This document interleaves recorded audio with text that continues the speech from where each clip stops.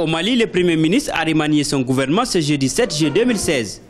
Troisième gouvernement de l'ère Modibo Keïta, la nouvelle équipe compte 34 ministres contre 32 précédemment. Ce remaniement plusieurs fois reporté marque l'entrée au gouvernement de la coordination des mouvements de l'Azawad et de la plateforme proche de Bamako. Les Maliens espèrent que leur présence permettra une avancée du processus de paix. Ça encourage les Maliens parce que ces gouvernements renferment des cadres valables qui viennent des institutions internationales et beaucoup d'autres choses. Nous pensons que ce gouvernement va être à la hauteur des missions qu'on leur confiera. Personnellement, je salue euh, l'entrée de la CEMA et de la plateforme dans ce nouveau gouvernement. C'est surtout ce que tous les Maliens attendaient. Pour, pour qu'on puisse accélérer le processus de, de réconciliation de paix au Mali. Par rapport à la mise en place des, des, autorités intermédiaires, il y a eu des blocages, ceci, cela. Il y a deux semaines déjà, ils avaient claqué la porte.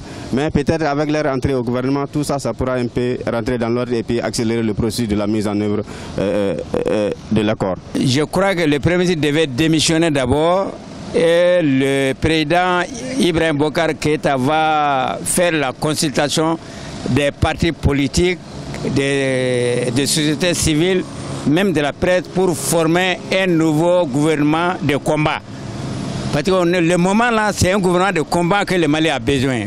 On note l'entrée des neuf nouveaux ministres et sept départs dont des ténors comme Shogel Maïga de la communication, Draman Dambélé de l'habitat et de l'urbanisme et Zahabi Ould Sidi Mohamed de la réconciliation nationale. Le nouveau gouvernement a été mis en place dans le contexte de la promesse tenue par le président de la République dans le cadre de, du processus d'Alger et en particulier l'accord de Bamako.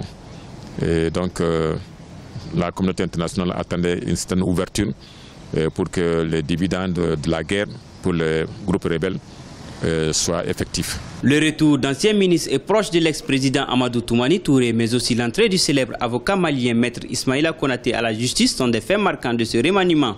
Huit femmes saisiront désormais dans ce gouvernement.